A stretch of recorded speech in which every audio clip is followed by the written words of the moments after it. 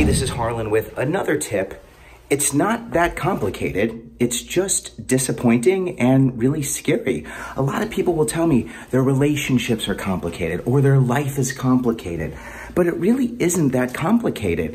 It's just really hard to acknowledge the truth. See, when people don't respond the way you want or the world doesn't give you what you want and you fight it and you don't listen and you push, push, push and try to get something from someone, who isn't going to give you what you want, that's where it becomes complicated.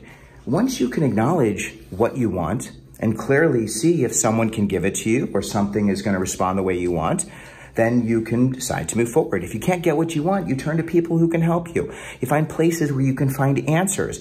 And if the answer is you're never going to be able to get exactly what you want, you change what you want. The problem is it's really scary to acknowledge the truth it's really disappointing to face the reality that not everyone and everything's going to respond to us the way we want. The confusing and complicated part is when we fight the truth. But when we can face it, it's actually quite simple. It's just disappointing and really scary sometimes.